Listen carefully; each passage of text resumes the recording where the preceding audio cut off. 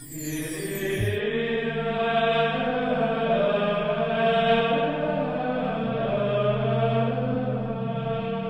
el nombre del Padre, y del Hijo, y del Espíritu Santo, el Señor esté con vosotros.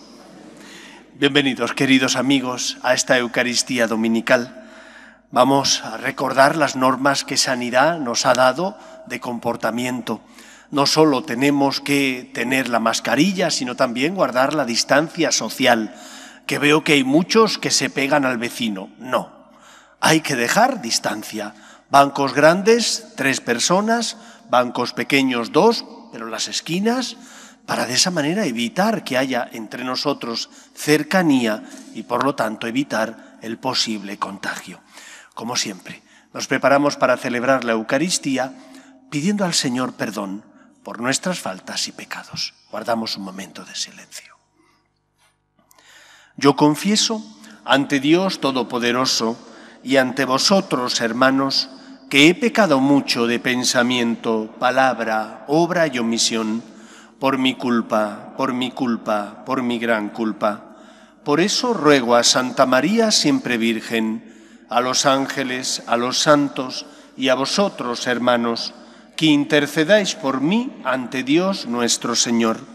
Dios Todopoderoso tenga misericordia de nosotros, perdone nuestros pecados y nos lleve a la vida eterna. Señor, ten piedad. Cristo, ten piedad. Señor, ten piedad. Gloria a Dios en el cielo y en la tierra paz a los hombres que ama el Señor. Por tu inmensa gloria te alabamos, te bendecimos, te adoramos, te glorificamos. Te damos gracias, Señor Dios, Rey Celestial, Dios Padre Todopoderoso Señor, Hijo único Jesucristo, Señor Dios, Cordero de Dios, Hijo del Padre, tú que quitas el pecado del mundo, ten piedad de nosotros. Tú que quitas el pecado del mundo, atiende nuestras súplicas. Tú que estás sentado a la derecha del Padre, ten piedad de nosotros, porque solo tú eres santo, solo tú, Señor, solo tú, Altísimo Jesucristo, con el Espíritu Santo, en la gloria de Dios Padre. Amén. Oremos. Oh Dios, que has puesto la plenitud de la ley en el amor a ti y al prójimo, concédenos cumplir tus mandamientos para llegar así a la vida eterna. Por Jesucristo nuestro Señor.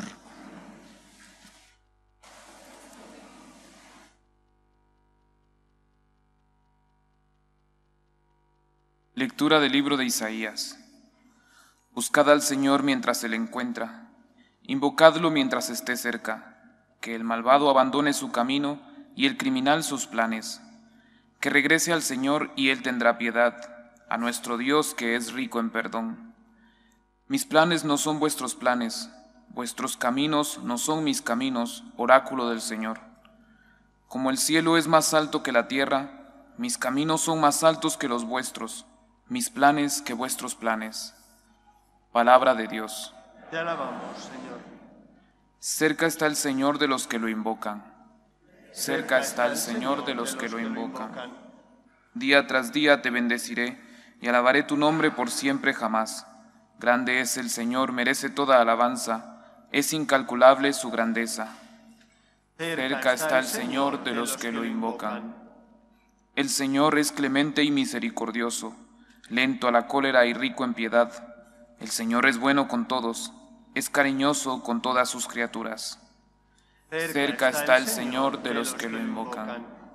El Señor es justo en todos sus caminos, es bondadoso en todas sus acciones. Cerca está el Señor de los que lo invocan, de los que lo invocan sinceramente. Cerca está el Señor de los que lo invocan.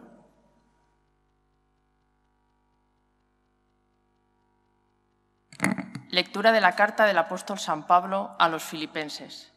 Hermanos, Cristo será glorificado abiertamente en mi cuerpo, sea por mi vida o por mi muerte. Para mí la vida es Cristo y una ganancia el morir.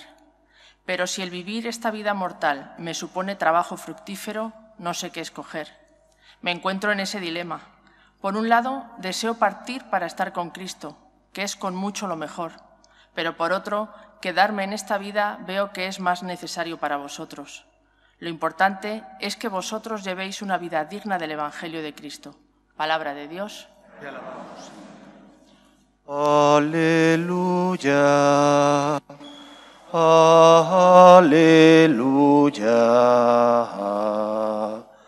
Aleluya.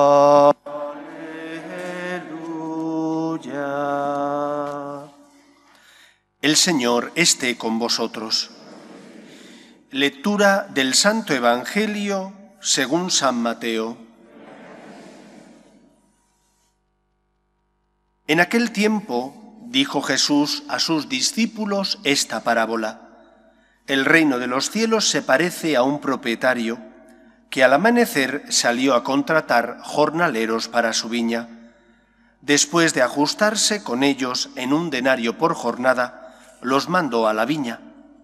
Salió otra vez a media mañana, vio a otros que estaban en la plaza sin trabajo y les dijo, Id también vosotros a mi viña y os pagaré lo debido. Ellos fueron, salió de nuevo hacia mediodía y a media tarde e hizo lo mismo. Salió al caer la tarde y encontró a otros parados y les dijo, ¿Cómo es que estáis aquí el día entero sin trabajar? Le respondieron, Nadie nos ha contratado. Él les dijo, Id también vosotros a mi viña. Cuando oscureció, el dueño de la viña dijo al capataz, Llama a los jornaleros y págales el jornal, empezando por los últimos y acabando por los primeros. Vinieron los del atardecer y recibieron un denario cada uno. Cuando llegaron los primeros pensaban que recibirían más, pero ellos también recibieron un denario cada uno. Entonces se pusieron a protestar contra el amo. Estos últimos han trabajado solo una hora y los has tratado igual que a nosotros que hemos aguantado el peso del día y del bochorno. Él replicó a uno de ellos, Amigo, no te hago ninguna injusticia. ¿No nos ajustamos en un denario? Toma lo tuyo y vete. Quiero darle a este último igual que a ti. ¿Es que no tengo libertad para hacer lo que quiera en mis asuntos? ¿O vas a tener tu envidia porque yo soy bueno? Así los últimos serán los primeros y los primeros últimos. Palabra del Señor.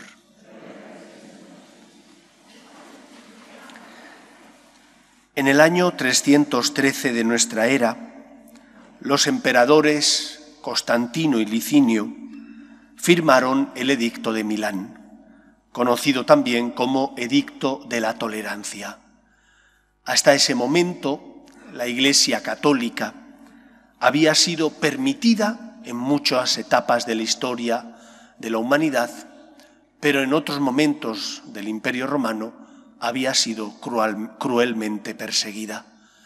Gracias a este edicto se toleró el cristianismo, porque el Imperio Romano no tenía problemas en convivir con multitud de religiones. El problema que tenía era que alguna religión tuviera como pretensión ser la religión verdadera, la única verdadera, y que sus seguidores no quisieran rendir culto, pleitesía, ni a otros dioses, ni a los emperadores romanos. Y esa es la única razón, que no es baladí, no es pequeña, por la que la Iglesia fue perseguida, porque los cristianos solo se arrodillaban ante Dios el Dios verdadero, el Dios único, el Dios creador, el Cristo encarnado. Y debido a aquel edicto, la Iglesia entró en una época de paz, en una época de paz donde pudo extenderse, crecer, donde pudo, gracias a esa paz, a esa tolerancia, llevar el nombre del Señor y por lo tanto engendrar nuevos cristianos. Dicen los historiadores que el emperador Constantino, siendo y teniendo claro que el cristianismo era la religión verdadera, no se quiso convertir, hacerse cristiano, bautizarse, hasta bien entrado su vida, hasta que no intuyó que le quedaban pocos días o pocos meses para morir. Y dicen que fue así, y supongo que será verdad, porque quería vivir sin ningún tipo de cortapisas, no quería reproches de conciencia, no quería pagar el precio de ser fiel a una conciencia recta. Si esto es así, creo que Constantino entendió muy poquito lo que significa el cristianismo. El Evangelio de hoy nos habla de cómo el Señor nos da gratuitamente la salvación. La salvación no es algo merecido por parte de ninguno de nosotros. ¿Quién de nosotros se merecería, por muy bueno que sea, hay personas buenas en este mundo, no digo que no, pero ¿quién de nosotros se merecería la encarnación, la muerte en la cruz del Hijo de Dios? ¿Quién de nosotros podría levantar la mano diciendo, yo tengo derecho? Pues eso es de lo que nos hablaba el Evangelio de hoy. La salvación es un acto de amor, gratuito, inmerecido, es un regalo al que no tienes derecho, pero que Dios te quiere conceder. Y por lo tanto, ¿cuál debería ser tu respuesta ante conocer que Dios te ama, experimentar que te quiere, saber que el pecado no es más fuerte que su misericordia? Se supone que el agradecimiento. Y el agradecimiento nos debería llevar a decirle al Señor, Señor, me siento afortunado. Gracias por tanto como me quieres y me amas. ¿Cómo es posible que te hayas fijado en mí? ¿Cómo es posible que por mí subieras a la cruz? Pues en lugar de eso, lo que hizo Constantino fue retrasar su conversión, quizás fue falsa conversión, hasta el final de sus días para poder vivir perdidamente. Es decir, para no vivir como una persona que tiene conciencia y para no ser agradecido a Dios nuestro Señor. Él ha salido a contratar. Él ha salido a regalar la salvación y te dice, te quiero, te amo. Y la respuesta que debería encontrar en nuestro corazón es la respuesta a aquella persona que se arrodilla ante el misterio del amor de Dios y le dice, Señor, ¿cómo es posible que por mí lo hagas? No creo que ninguno tuviera la cara dura de decirle, sí, Señor, yo me lo merezco. Y si me dieras más, más me merecería. No, es un regalo que Dios nos da. Por lo tanto, deberíamos, en lugar de hacer lo que hizo Constantino, decir aquello que dijo San Agustín en ese libro donde él habla de su experiencia de fe, que se llama Las Confesiones. En ese libro él dice, tarde te amé, Señor, tarde te encontré. Porque hasta que el Señor logró echar abajo su duro corazón, esa puerta que impedía que en él entrara Dios, Agustín vivió perdidamente también. Pero cuando se dio cuenta de la necedad de sus actos, de la torpeza de sus decisiones. Entonces dijo, tarde te encontré, Señor, tarde te amé. ¿Qué deberían ver los que pasan a nuestro lado y no tienen fe? ¿Qué deberían ver en nosotros? Deberían ver el ejemplo, el testimonio de unas personas que somos débiles, porque sí lo somos, no podemos mentir, a los demás a lo mejor podemos engañarles, pero a Dios y a nosotros no nos podemos engañar. Nosotros somos conscientes de cuáles son nuestras debilidades. Deberían ver la alegría de aquel que se siente salvado, querido, que se siente afortunado, porque Dios, el Todopoderoso, le ha mirado a los ojos y le ha dicho, te quiero. Le ha mirado a los ojos y le ha dicho, no tengas miedo, te amo. No tengas miedo, levántate, vuelve a empezar, te perdono tus culpas. Por eso nosotros deberíamos sentirnos afortunados. Claro, si lo miras desde el otro prisma, es que por ser una persona religiosa, por seguir al Señor, tengo que pagar un precio, tengo que intentar ser fiel a mi conciencia. Es verdad. Pero ¿qué preferirías? ¿Vivir como si no tuvieras conciencia, como un esclavo? o vivir libremente como una persona que sabe distinguir qué está bien y qué está mal. Yo no quiero ser esclavo. Yo prefiero saber cuáles son mis errores y cuando me equivoco poder pedir perdón por ellos. Yo prefiero vivir como una persona que se sabe querida, amada por Dios y que cuando ha caído le dice al Señor, lo siento, y el Señor le perdona. El Evangelio de hoy nos habla del testimonio que nosotros deberíamos dar ante el mundo que no tiene fe, porque nosotros hemos sentido el amor de Dios. Nos han contratado para trabajar en la viña. ¡Qué suerte tener trabajo! Cuando una persona no tiene empleo y sin embargo tiene que pagar las facturas y tiene que pagar el colegio de sus hijos y tiene que pagar también la luz, el agua, todo lo demás, qué angustia no poder llegar a fin de mes. Cuando uno mira los ojos a una persona necesitada, entiende su dolor. Ese dolor deberíamos sentir nosotros por nuestra ingratitud cuando no valoramos suficientemente el que Dios entregar a su Hijo al mundo para salvarnos. Nos ha regalado la salvación. Qué suerte, qué fortuna tengo, qué afortunado soy. Qué suerte poder colaborar con Dios. Y esa es la segunda enseñanza. No solo recibes el amor de Dios, porque Dios te perdona. Es que además el Señor te pide ayuda para que tú puedas colaborar con Él sembrando amor y esperanza a tu alrededor. Y siembras amor, esperanza, cuando eres un padre o una madre que educas a tus hijos cristianamente y siembras amor y esperanza, cuando en tu trabajo, porque tienes principios, no todo vale. Porque distingues el bien del mal, sabes que hay límites, líneas que uno no puede pasar, porque el mal solo construye una sociedad peor, una sociedad esclava, mientras que el bien es el que construye una sociedad más justa. Por eso, nosotros deberíamos ser ejemplo, colaboradores de Dios en nuestra sociedad, en nuestro mundo, porque intentamos comportarnos como personas que han sentido el amor de Dios. Dios te llama a colaborar con Él. Y uno podrá decir, yo ni soy cura ni soy monja. Por lo tanto, ¿qué es lo que el Señor me pide? Todos nosotros formamos parte de la Iglesia como cuerpo místico de Cristo gracias al sacramento del bautismo, nos han injertado en ese árbol de la vida divina que es Dios, en esa iglesia que es el cuerpo místico de Cristo. Y por lo tanto, cada uno de nosotros, en su trabajo, en su relación con sus amigos, con su familia, tiene que ser testimonio de Dios, tiene que ser apóstol del amor de Dios, tiene que ser evangelizador.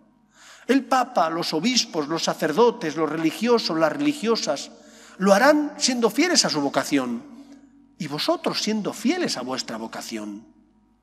Sin vuestra ayuda, la Iglesia no puede salir adelante. Dios os necesita. Os necesita porque ha querido ser tan generoso que quiere daros el regalo de poder colaborar con Él en la obra de la salvación. No hay nada tan dichoso poder colaborar con Cristo, saber que cuando yo absuelvo, no soy yo quien absuelvo, es Cristo el que absuelve. Saber que como padre o madre de familia, cuando tú educas a tus hijos, estás siendo instrumento de Cristo para iluminar la conciencia de esa persona. Saber que en tu trabajo, cuando tú te comportas como una persona con principios, estás siendo luz de Cristo, el amor de Dios que ilumina a esas personas que se cruzan contigo en la vida, nos tiene que hacer darnos cuenta de que somos los más afortunados porque como miembros de la Iglesia podemos colaborar con Cristo en la obra de la salvación. Puedes decirle como Constantino, no, no, más adelante. A Constantino solo le interesaba una cosa, su egoísta salvación. No le interesaba corresponder a Dios, amar a Dios. A nosotros no nos interesa egoístamente nuestra salvación. Nos interesa amar a Dios y evidentemente que queremos estar con Él en el cielo, eso es la salvación. Pero no buscamos la salvación y lo demás no me interesa.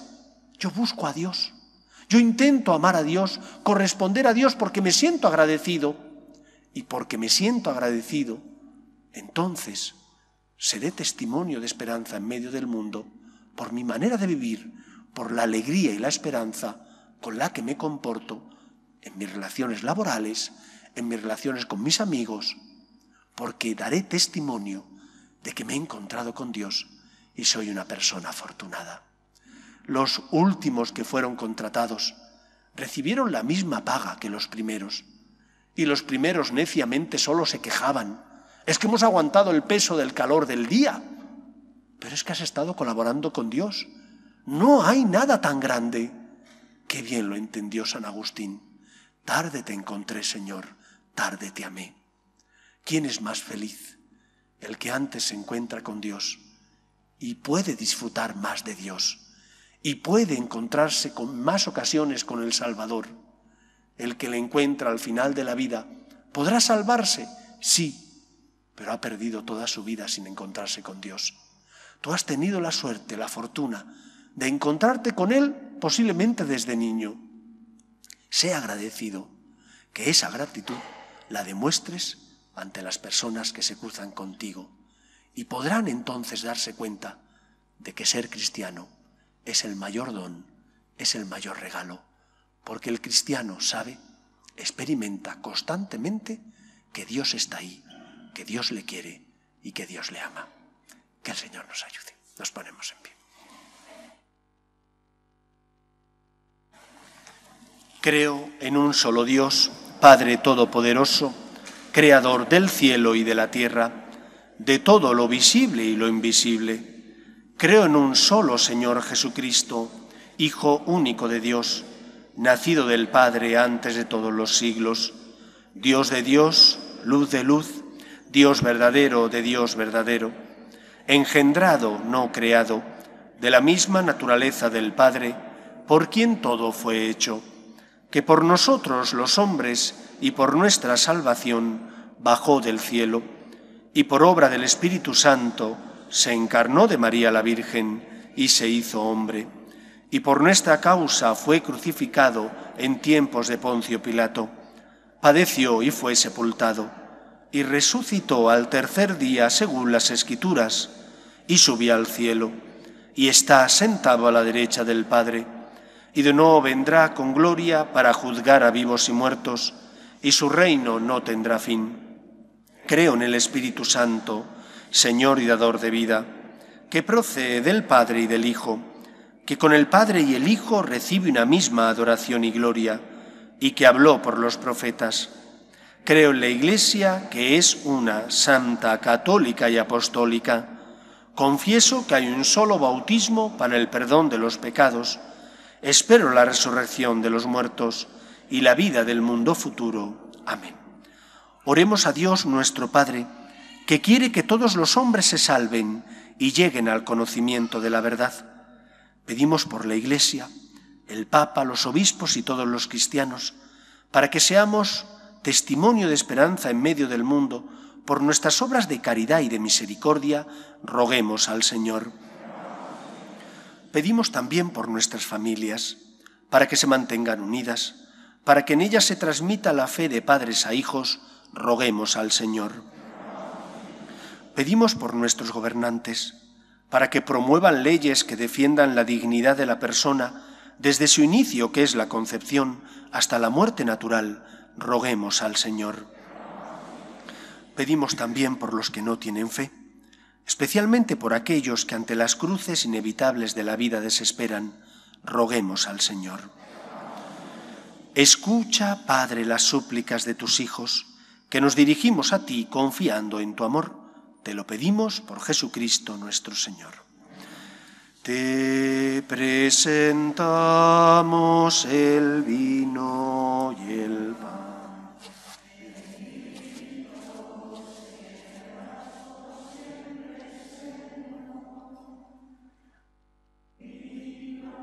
sea, Señor, por este pan que nos diste fruto de la tierra y del trabajo de los hombres. Te presentamos el vino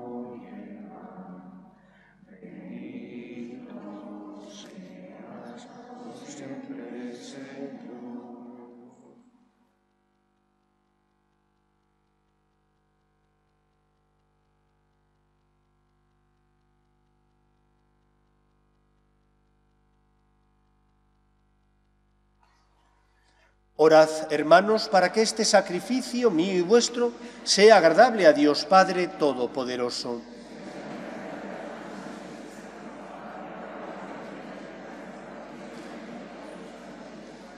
Recibe, Señor, en tu bondad las ofrendas de tu pueblo, para que cuanto creemos por la fe, lo alcancemos por el sacramento celestial. Por Jesucristo nuestro Señor.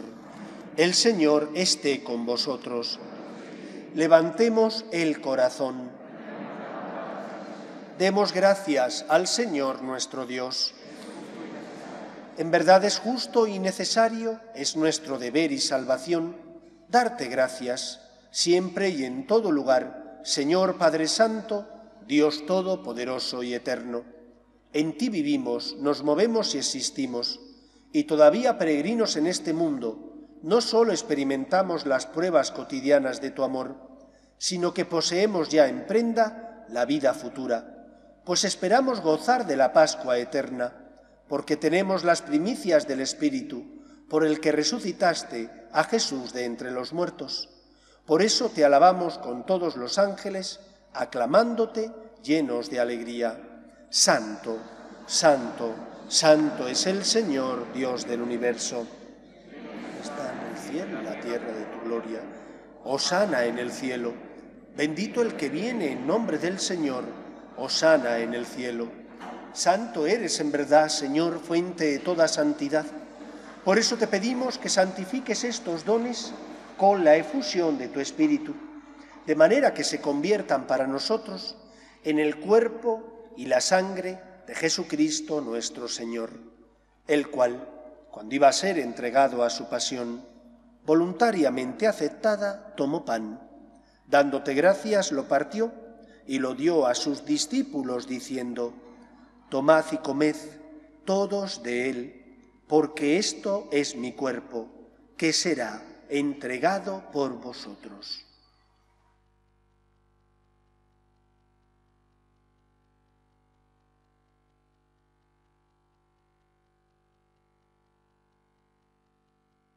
Del mismo modo, acabada la cena, tomó el cáliz y dándote gracias de nuevo, lo pasó a sus discípulos diciendo, Tomad y bebed todos de él, porque este es el cáliz de mi sangre, sangre de la alianza nueva y eterna, que será derramada por vosotros y por muchos para el perdón de los pecados. Haced esto en conmemoración mía.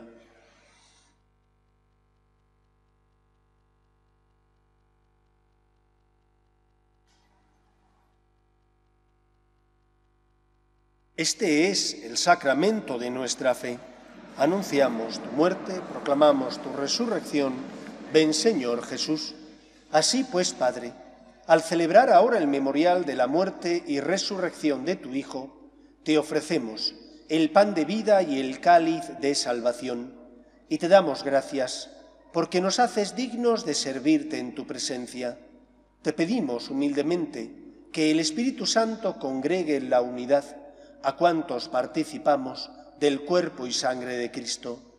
Acuérdate, Señor, de tu Iglesia extendida por toda la tierra y reunida aquí en el domingo, día en que Cristo ha vencido a la muerte y nos ha hecho partícipes de su vida inmortal, y con el Papa Francisco, con nuestro obispo Carlos y todos los pastores que cuidan de tu pueblo, llévala a su perfección por la caridad. Acuérdate, Señor, de tus hijos, Daya y José Abelardo, que en Cristo fundaron hace 29 años una nueva familia, iglesia doméstica y sacramento de tu amor, y concédele que la gracia de aquel día se prolongue a lo largo de toda su vida. Acuerde también de nuestros hermanos que durmieron en la esperanza de la resurrección, de Celia, José, Román, Rodolfo, Arancha, Sergio, María Estíbaliz, y de todos los que han muerto en tu misericordia, admítelos a contemplar la luz de tu rostro. Ten misericordia de todos nosotros, y así con María la Virgen Madre de Dios, San José, los apóstoles y cuantos vivieron en tu amistad a través de los tiempos, merezcamos por tu Hijo Jesucristo compartir la vida eterna y cantar tus alabanzas. Por Cristo, con Él y en Él, a ti, Dios Padre Omnipotente, en la unidad del Espíritu Santo, todo honor y toda gloria por los siglos de los siglos. Fieles a la recomendación del Salvador y siguiendo su divina enseñanza, nos atrevemos a decir, Padre nuestro que estás en el cielo, sea tu nombre, venga a nosotros tu reino, hágase tu voluntad en la tierra como en el cielo. Danos hoy nuestro pan de cada día, perdona nuestras ofensas, como también nosotros perdonamos a los que nos ofenden. No nos dejes caer en la tentación y líbranos del mal. Líbranos de todos los males, Señor, y concédenos la paz en nuestros días, para que, ayudados por tu misericordia, vivamos siempre libres de pecado y protegidos de toda perturbación, mientras esperamos la gloriosa venida de nuestro Salvador Jesucristo.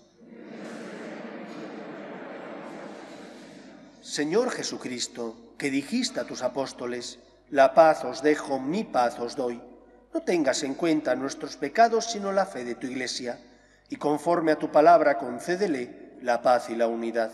Tú, que vives y reinas por los siglos de los siglos, la paz del Señor esté siempre con vosotros. Cordero de Dios, que quitas el pecado del mundo, ten piedad de nosotros.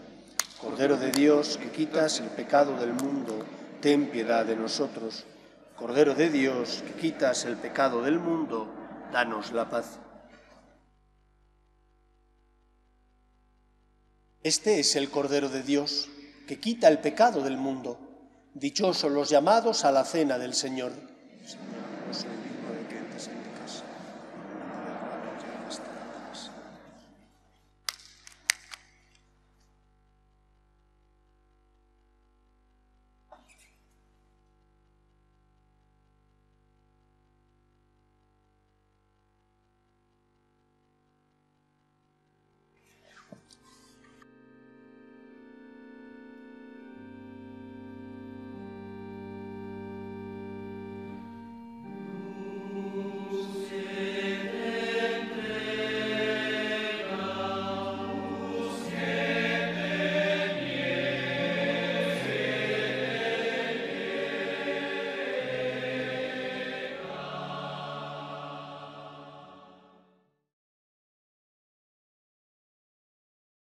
Comunión espiritual. Creo, Jesús mío, que estás real y verdaderamente en el cielo y en el santísimo sacramento del altar. Te amo sobre todas las cosas y deseo vivamente recibirte dentro de mi alma. Pero no pudiendo hacerlo ahora sacramentalmente, ven al menos espiritualmente a mi corazón. Y como si ya te hubiese recibido, te abrazo y me uno del todo a ti. Señor, no permitas que jamás me aparte de ti. Amén.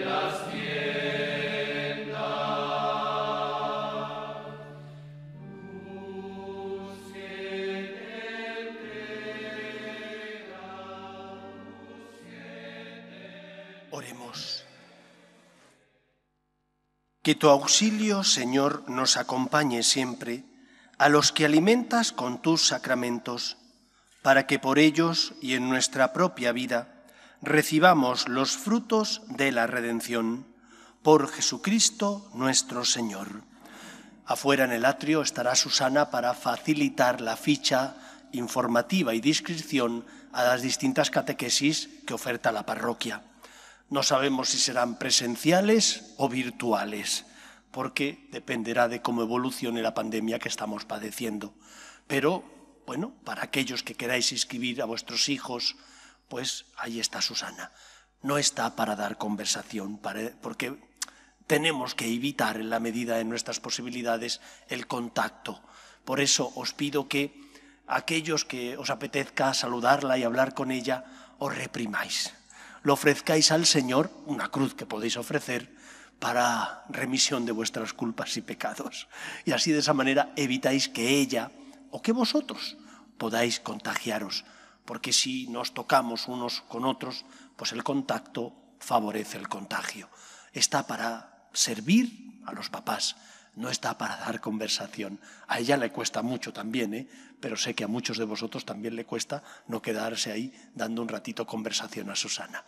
Espero y deseo que paséis una feliz semana.